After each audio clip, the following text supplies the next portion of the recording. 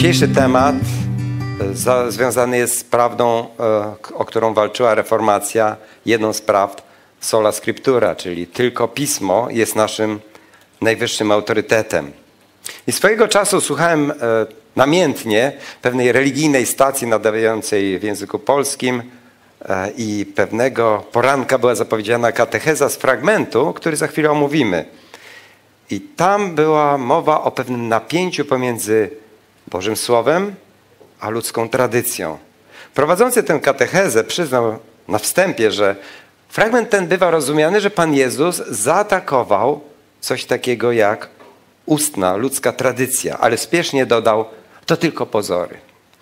No i w trakcie programu coraz wyżej unosiłem brwi ze zdumienia, a już w pewnym momencie z podziwu, jak tekst, który mówi jedno można obrócić, żeby mówił coś przeciwnego. Zdaj sobie sprawę, że my czasami też powierzchownie czytamy jakiś tekst, opacznie rozumiemy, bo kontekstu nie widzimy i później po dobrym studium dochodzimy do wniosku, że rzeczywiście on mówił coś innego. No ale są fragmenty tak jasne i ten wydawał się być bardzo jasny, że obrazowo mówiąc e, prowadzący katechezę rzekł, e, ten tekst wydaje się biały, ale jak się dobrze przyjrzeć, są tam takie lekko szarawe centki, które przy bliższej analizie zlewają się w taki szary, nawet ciemnoszary, ale z daleka, to widać, że to jest czarne. Tak mniej więcej taką drogę przeszedł podczas tej katechezy. Zobaczmy, jak się rzeczy mają, kiedy sami przeanalizujemy ten fragment. To znajdziemy go w Ewangelii Marka w siódmym rozdziale.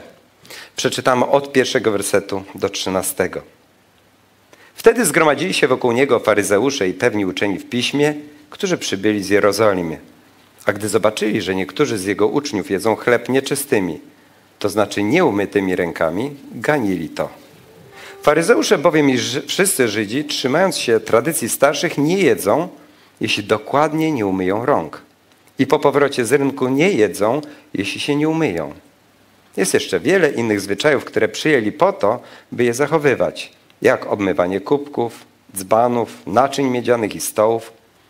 Zapytali go więc faryzeusze i uczeni w piśmie, dlaczego twoi uczniowie nie postępują według tradycji starszych, lecz jedzą chleb nieumytymi rękami? Wtedy on im odpowiedział, dobrze Izajasz prorokował o was, o błudnikach, jak jest napisane, ten lud czci mnie wargami, ale ich serce daleko jest ode mnie lecz na próżno mnie czczą, ucząc nauk, które są nakazami ludzkimi. Wy bowiem opuściwszy przykazania Boże, trzymacie się tradycji ludzkiej, obmywania dzbanków i kubków i wiele innych tym podobnych rzeczy czynicie. Mówił im też, całkowicie znosicie przykazanie Boże, aby zachować swoją tradycję. Mojżesz bowiem powiedział, czci swego ojca i swoją matkę oraz kto złożyczy ojcu albo matce, niech poniesie śmierć. Ale wy mówicie, jeśli człowiek powie ojcu albo matce, to co powinieneś otrzymać ode mnie jako pomoc, to korban, to znaczy dar przeznaczony na ofiarę, będzie bez winy. I nie pozwalacie mu nic więcej uczynić dla swojego ojca albo matki. Wniwecz, obracając Słowo Boże przez waszą tradycję, którą przekazaliście. I wiele innych, tym podobnych rzeczy czynicie. Co za pasja.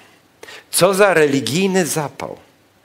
Przez wiele lat wzbudzający podziw, szacunek ludu. I nie mówię teraz o słowach naszego Pana Jezusa Chrystusa. Mówię o naukach faryzeuszów i pewnych uczonych w piśmie. Bo ile w nich było oddania, aby studiować Torę, prawo, proroków i żeby drobiazgową wykładnie przedstawić ludziom tak, aby nie złamali najmniejszego szczegółu tak aby znów Boży gniew za nieposłuszeństwo nie ściągnął na lud wybrany tego upodlenia, tej tragedii, jaką było uprowadzenie do niewoli, tej ostatniej, babilońskiej. Oni wzbudzali podziw, powszechny respekt, szacunek, ale zdarzył się, znalazł się ktoś, kto ich przejrzał. Przejrzał ich na wylot i zaatakował to, co złe, te praktyki, zaatakował je frontalnie. Co było bezpośrednią tą przyczyną ataku? Możemy powiedzieć, że to był konflikt Bożego Słowa z ludzką tradycją. konflikt Bożego Słowa z ludzką tradycją. To jest właśnie ludzka tradycja wcielona. I to nie byle jaką tradycją, tradycją starszych, a w Izraelu starszczyzna to była ta grupa, która się liczyła. I ta, ten konflikt ujawniał pewien bardzo ważny mankament e, w życiu i w praktyce tych starszych. Sprzeczność ich nauki z wyraźnymi instrukcjami Bożego Słowa. Już na wstępie tego tekstu Pan Jezus uczy nas pierwszej, bardzo ważnej zasady. Nie wdawaj się w spory o pomniejsze sprawy, gdy zagrożone są podstawowe prawdy. Nie wdawaj się w spory o drobiazgi, kiedy na stole leżą podstawowe prawdy i nie zgadzamy się co do tego. Oni przecież rozpoczęli rozmowę od zarzutu. Uczniowie twoi nie mają rąk, kiedy jedzą. No, to było złamanie przepisu starszych. Czy to był zły przepis? Czy był sprzeczny z Pismem Świętym? Można powiedzieć bardzo pożyteczny. Chronił od chorób, od jakichś innych problemów, od epidemii nawet. No ale był pewien problem. Te drobiazgowe instrukcje mówiące o, o tym szczególe, no, umyj ręce, kiedy wracasz z rynku aż po łokcie, to, to nie było najważniejsze. W tle było lekceważenie jasnych e, przykazań Bożego prawa. Czyli w kontekście łamania Bożego Słowa kwestia umytych rąk czy nieumytych rąk to był naprawdę marginalny problem. Nie warto było się tym zajmować, dopóki Boże Słowo było unieważniane. Dziś jest podobnie. Ludzie mają swoje ulubione tematy, chrześcijanie też, na które lubimy się spierać. A to będą czasy ostateczne, a to będą takie czy inne praktyki, a to takie akcenty, czy te dary Ducha Świętego, czy inne powinniśmy e, praktykować, a to czy taka liturgia powinna być, czy inna. E, nawet możemy się pospierać o kolory wystroju wnętrza naszej przyszłej kaplicy. Ale to są nieistotne szczegóły w porównaniu z tym, jeśli byłby problem z Ewangelią, jaką głosimy, charakterem i naturą Boga, którego wyznajemy i wielbimy, czy na przykład zbawienie postrzegamy jako w stu procentach dar od Boga, czy jest to jakaś kombinacja? No, trochę sakramentów, trochę wstawiennictwa innych, trochę naszych działań, plus ofiara Pana Jezusa, czy wręcz nagroda za dobre uczynki. Już od dłuższego czasu prowadzony jest spór i mamy zarzuty, że przecież nie doceniamy. Inne kościoły też mówią, że zbawienie jest z łaski. Że przecież e, łaska Boża jest do zbawienia koniecznie potrzebna. Dlaczego wy się tak oddzielacie? Dlaczego wy tak nie chcecie się pojednać? To nie jest problem, że łaska Boża jest do zbawienia koniecznie potrzebna. My się z tym zgadzamy. My tylko chodzi nam o tę drugą część że łaska Boża jest i konieczna, i wystarczająca. A o tym już druga strona nie wspomina. To tak jak zaraz po wojnie. Nowa władza ludowa chciała uzyskać poparcie dla siebie i zrobiła referendum. Słynne trzy razy tak. Jednym z pytań było, lekcja historii, czy zgadzasz się z nowym kształtem granicy zachodniej Polski? Kiedy to w porównaniu z mapą przedwojenną przesunęliśmy się na zachód, odzyskaliśmy pewne ziemie kosztem przegranych Niemiec. Co to za pytanie? Oczywiście, że się zgadzamy, jak jesteśmy Polakami. A dlaczego nie zapytali, czy zgadzasz się z nową granicą na wschodzie, gdzie straciliśmy tyle terenów kosztem Związku Radzieckiego? Także nie wdajemy się w drugoplanowe tematy. Rozmawiamy o tym, co najważniejsze. Dlatego, kiedy jesteś wśród znajomych, rodziny i ktoś cię pyta, co myślisz o tym, że Pan Bóg w Starym Testamencie kazał wyciąć w pień takie Jericho, dzieci, starców, nawet wielbłądy, osły, co do nogi. I wiesz, że ta osoba zadająca takie pytanie odrzuciła istnienie Boga. Deklaruje się jako ateista. Nie zabieraj się z nią za studium biblijne żeby teraz bronić Pana Boga i wykazywać, że Pan Bóg miał po temu usprawiedliwione powody. Zajmij się fundamentalnym problemem tej osoby. Ona ośmieliła się odrzucić wiarę w istnienie Boga, a Bóg się jej objawił. A więc wtedy możesz zadać pytanie, czy masz z tym jakiś problem? Że Pan Bóg kazał wyciąć w pień Jericho. No i wtedy pewnie powie, no tak, mam z tym problem, bo to było złe. Właśnie czekaj na jakiekolwiek moralne wartościowanie z jego strony. To było złe, to było niegodziwe, to było podłe. Bo kiedy coś takiego powie, już go masz. Bo jako niewierzący pogrąża się. Dlatego, że natychmiast możesz zapytać, a na jakiej podstawie w Twoim światopoglądzie, w którym nie ma Boga, możesz powiedzieć, że coś jest dobre lub złe? Przecież wycięcie, eksterminacja drugiego narodu w myśl społecznego darwinizmu jest czymś naturalnym. Silniejszy zdobywa miejsce kosztem słabszego wyścigu o przetrwanie. Jaką masz podstawę nazwać to złym lub dobrym? Widzicie, żeby zaatakować chrześcijaństwo, niewierzący musi pożyczyć nasze ramy światopoglądowe, gdzie jest zło i dobro, gdzie na ogół wycięcie w pień całego narodu jest złe, bo jeśli on odrzucił obiektywny fundament dobra i zła Boga, nie ma prawa nic takiego powiedzieć. A często słyszę, jak, nie, jak nasi bracia wierzący dają się wciągnąć właśnie w drugorzędne spory, kto ma rację. A sam też ulegam pokusie.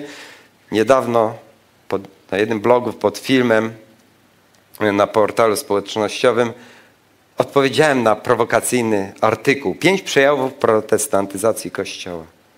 Autor tego artykułu doszukiwał się, jak reformacja źle wpłynęła na Kościół zachodni. No i jednym z rzekowych straszliwych skutków było usunięcie łaciny z obrządku. Nie wiem, czy usunięcie łaciny jest takim ważnym problemem, ale chyba wszyscy się zgodzimy, że bardzo marginalnym.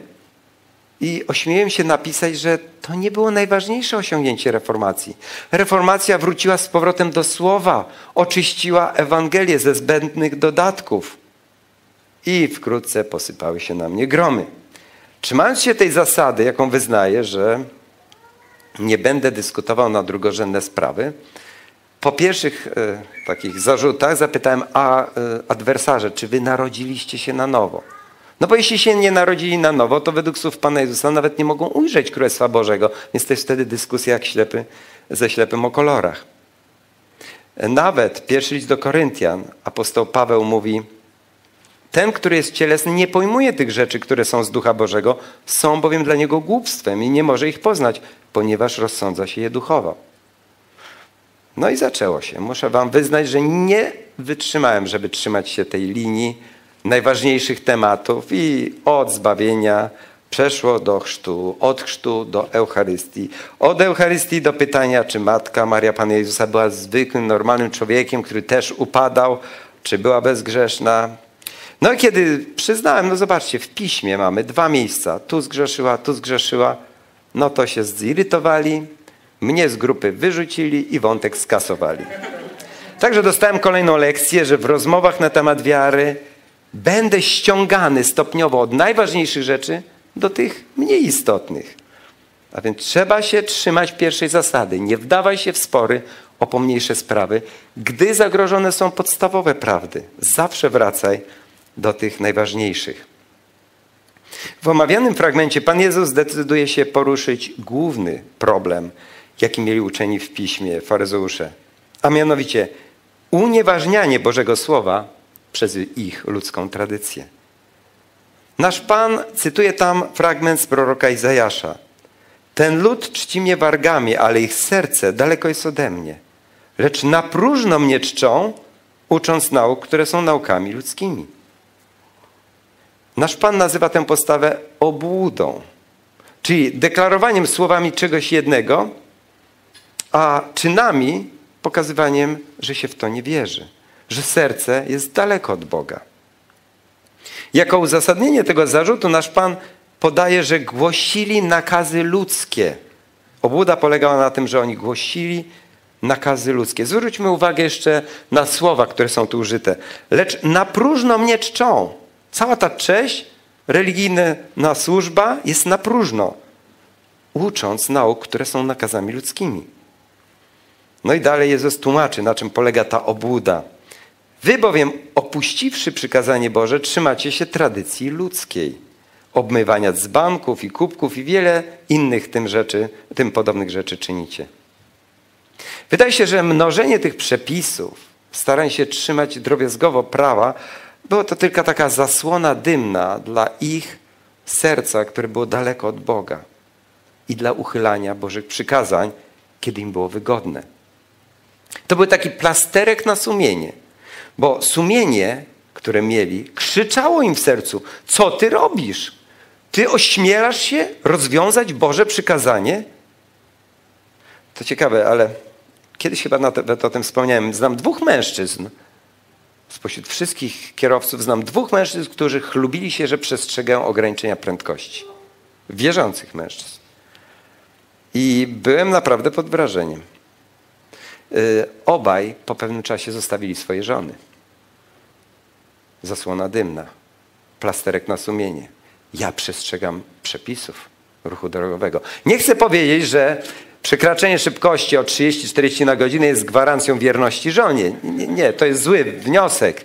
Chodzi o to, że bardzo często skupianie się na drobiazgach jest takim wizytówką. Zobaczcie, jestem duchowy. A we, w tle gdzieś po cichu knuje zbrodnię, jaką jest opuszczenie swojej żony albo jakieś inne brzydkie rzeczy. Postarajmy się wczuć w realia tamtego dnia. Na co się Pan Jezus obdurzał? To mógł być piękny letni wieczór gdzieś w miasteczku w Izraelu i w rodzinie wybuchła kolejna awantura. Sędziwy ojciec znów, no bo amnezja, zapomniał rozpalić ogień, żeby przygotować posiłek dla rodziny, dla ojca, który wracał, czyli syna tego sędziwego staruszka, który wracał po ciężkim dniu pracy z warsztatu. No, w tamtych czasach starsi rodzice mieszkali przy dzieciach. E, I to, był, to była ich emerytura. Dzieci miały obowiązek nie tylko dać schronienie, ale także utrzymać rodziców. O tym mówiło przykazanie czci ojca i matkę swoją. W tym właśnie zawierało się to obowiązek łożenia. No i w trakcie kłótni wyobraźmy sobie, że ten staruszek nieporadnie obraca się i strąca jakąś drogą wazę ze stołu. Ona spada na ziemię, tłucze się w kawałki. Synowi to już zawrzała krew. Zgniewany z kamienną twarzą mówi: Korban. Twarz ojca zastyga, blednie. Jego broda zaczyna mu drżeć, w kąciku kręci się łza. W myślach panuje chaos, panika. Co ja teraz zrobię? Mój syn już mnie nie będzie utrzymywał. Gdzie ja pójdę? Ja już nie mam innej rodziny. Przyjdzie mi żebrać. Co za wstyd. Jak ja przeżyję zimę? Zobaczcie, tak podłe, tak niszczące było stosowanie tego prawa, które dali uczeni w piśmie. Początkowo to prawo mówiło jedynie o dobrowolnej ofierze na świątynię. Nic złego. Jako wyraz uwielbienia. Zobaczcie, jako ukryta była tutaj przewrotność. Prawo Boże zobowiązywało do opieki nad staruszkami rodzicami. A prawo rabiniczne mówiło, jeśli to zobowiązanie zamienisz na dobrowolną ofiarę, korban, na świątynię, już nie musisz płacić na rodzica. I to już jest szczytem bezczelności, że rozwiązanie Bożego prawa, postanowienia, rabini robili z tego akt uwielbienia Boga. Kładziesz na świątynię, wspierasz kult Jahwe. Tak nawiasem mówiąc, oni traktowali w ten sam sposób również inne zobowiązania. Na przykład zadłużyłeś się u kogoś. Mogłeś swojemu wierzycielowi powiedzieć korban. I od tej pory raty długu nie spłacasz jemu. Dajesz na świątynię. I on nie może cię ścigać. Zobaczcie, jaki interes miał Izraelita, żeby w ogóle posługiwać się takim prawem, skoro i tak tych środków, tych pieniędzy nie będzie miał, czy da na rodziców, czy na świątynię, czy odda wierzycielowi, czy da na świątynię, i tak tych środków nie ma. Ale skoro tych pieniędzy nie zachowywał, to pozostają dwie motywacje, żeby w ogóle coś takiego robić. Albo ten Izraelita sądził, że robiąc tak, zyskuje jakieś punkty w oczach Pana Boga, że jest to jakiś akt naprawdę uzysk- uwielbienia Go. albo używał tego prawa, żeby zemścić się na ojcu, który jest zbyt gerderliwy, może zbyt surowo mnie karcił za młodu. Nie wiemy. Albo na przykład wierzyciel zbyt natarczywie domagał się zwrotu długu. A, to mu zrobię numer, przekażę na świątynię. W każdym razie tak czy inaczej motywacje były fatalne. Za tym stał jeszcze jeden problem. Przecież ci z Izraelitów, którzy decydowali się skorzystać z prawa korban, nie byli jacyś upośledzeni. Oni czuli, że to jest dość podłe zagranie, ale oni mieli zapewnienie od władz religijnych, że to jest ok. Że jeśli dajesz na świątynię, to już jesteś zwolniony z tych zobowiązań, które nawet nakładało na ciebie Boże Słowo. I jeśli raz coś takiego zrobisz, złamiesz Boże Słowo i jesteś w tym uspokojony, to działa tak e, prawo precedensu. Przyjdzie inna okazja, znowu wyraźne Boże prawo złamiesz i powoli odrzucasz autorytet Bożego Słowa i lekceważysz je w swoim życiu. Wyrok i ocena takiej praktyki dokonane przez naszego Pana jest miażdżąca.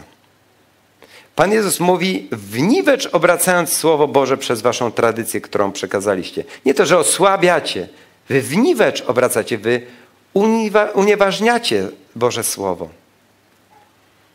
Jaki z tego wniosek płynie? Wszystkie nauki i tradycje Kościoła muszą być zgodne z Bożym Słowem. Niby oczywiste, ale warto to podkreślić. Wszystkie nauki, tradycje, praktyki Kościoła muszą być zgodne z Bożym Słowem. Ale przecież jesteśmy pod ogromną presją, żeby to tu, to tam troszeczkę nagiąć. Bo kiedy para jest wzajemnie zakochana i tak planują ślub, no to jakaż jest presja przecież, żeby zamieszkali razem. Zwłaszcza, że często to jest kwestia mieszkania, wynajmu, gdzieś drożej. Przecież wszyscy tak robią. To, że wszyscy tak robią, jak to mawia Josh McDowell, to jest najlepszy dowód, że wierzący powinien robić odwrotnie. I co się dzieje wtedy? Ludzka tradycja unieważnia Boże Słowo, że unia fizyczna między mężem a żoną, mężczyzną a kobietą jest właśnie tylko w ramach przymierza małżeńskiego. A co z zaakceptowaniem zachowań homofilnych? Ja nie mówię o tym, żeby być nieuprzejmym, chamskim wobec osób czujących pociąg do tej samej płci. Jako chrześcijanie powinniśmy wyróżniać się tym, że akceptujemy każdego grzesznika, czy heteroseksualnego, czy homoseksualnego.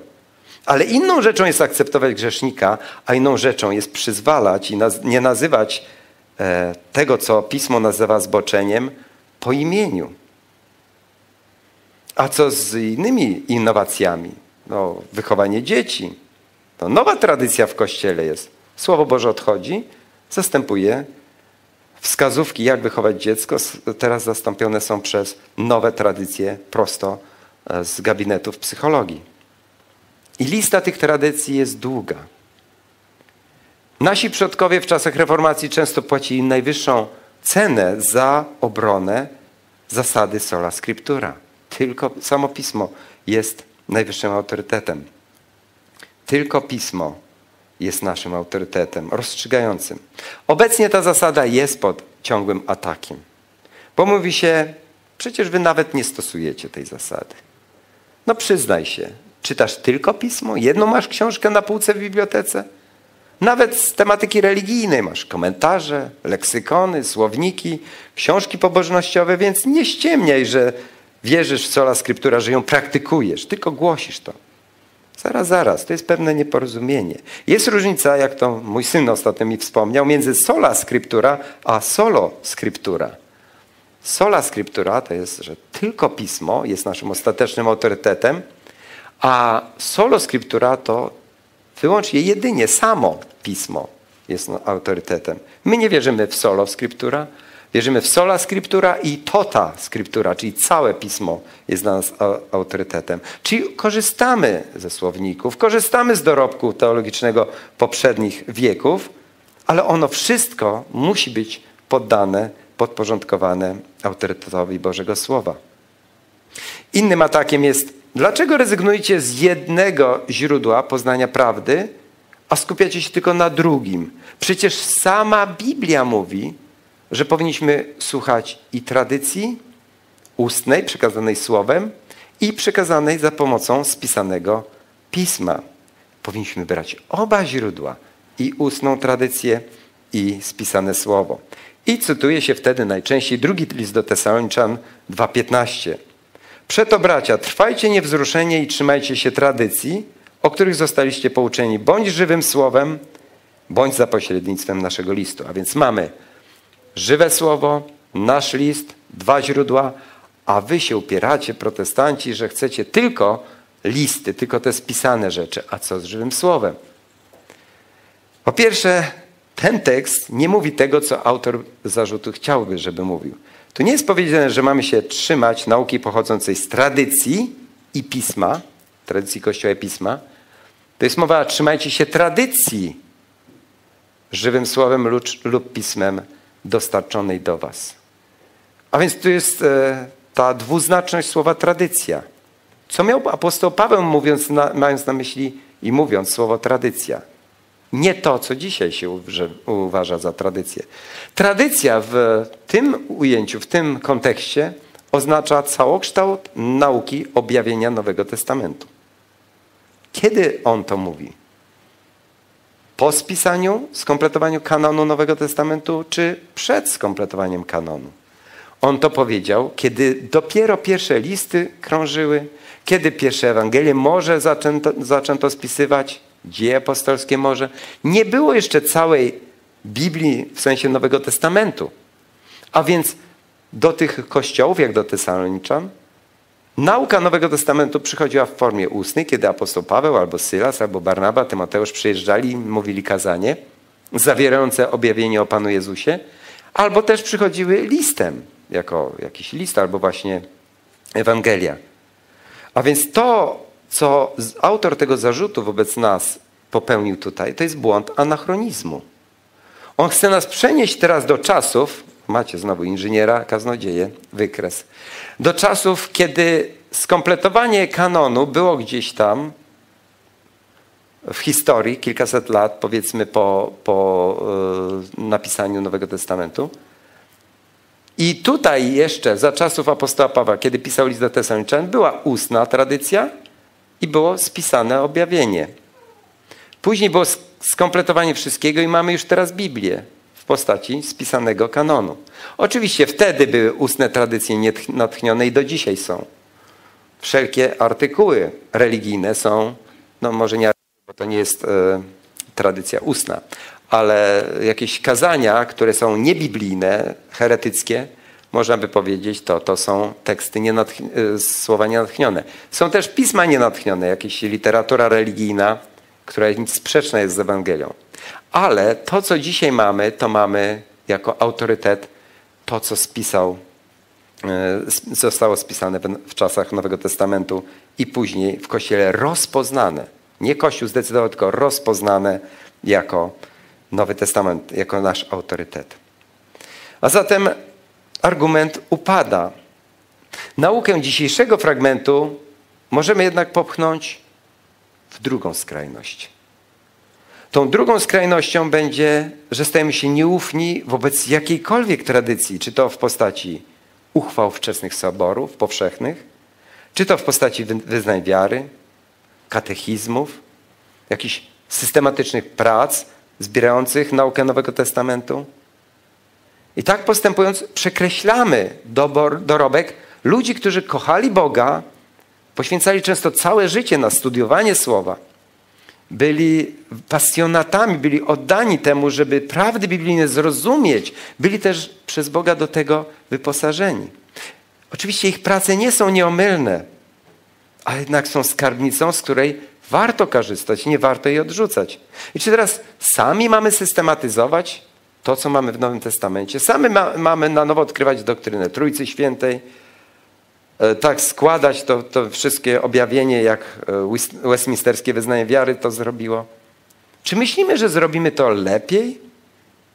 I każdy, kto lekceważy to, co Pan Bóg nam dał w historii Kościoła, jako właśnie zrozumienie nowotestamentowego objawienia i spisanie tego jako w sposób może bardziej systematyczny, to taki człowiek jest w pewnym sensie bardzo zarozumiały, który udaje, że w XXI wieku Jest pierwszą osobą, która odkryła na nowo prawdziwe chrześcijaństwo. I dzięki temu mamy różne właśnie takie sekciarskie grupy, które jednym pociągnięciem wyrzucają całą historię Kościoła do kosza. A przecież Pan Jezus powiedział nam, zapowiedział to w Mateusza 13 rozdziale. Dlatego każdy uczony w piśmie, który jest pouczony o Królestwie Niebieskim, podobny jest do gospodarza, który wydobywa ze swego skarbca nowe i stare rzeczy. Każdy uczony w piśmie, czy nie wszyscy uczeni w piśmie byli wrogami Pana Jezusa, bo mówi o tych, którzy są pouczeni o Królestwie Niebieskim. A więc mówimy o tych, którzy znali Stary Testament, nawrócili się, mieli nową naturę i teraz ich wiedza Starego Testamentu była dobrym atutem do tego, żeby oni przyjęli objawienie Nowego Testamentu i wyjaśnili, jak jedno z drugim współgra. A więc podobni są do gospodarza, który wydobywa ze swego skarbca nowe i stare rzeczy. Warto takich osób posłuchać. Inny fragment z Mateusza 23 rozdziału. Pan Jezus zapowiada, dlatego ja posyłam do was proroków, mędrców i uczonych w piśmie.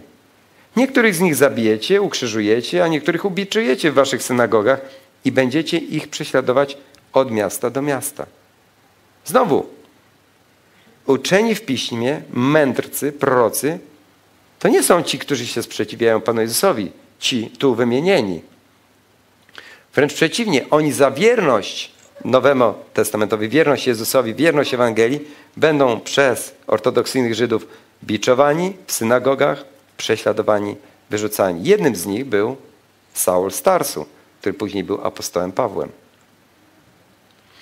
Więc Pan Bóg daje nam ten ogromny, bogaty dorobek wieków minionych, to dziedzictwo, dzięki któremu możemy lepiej rozumieć Boże Słowo. Oczywiście to nie są ludzie natchnieni.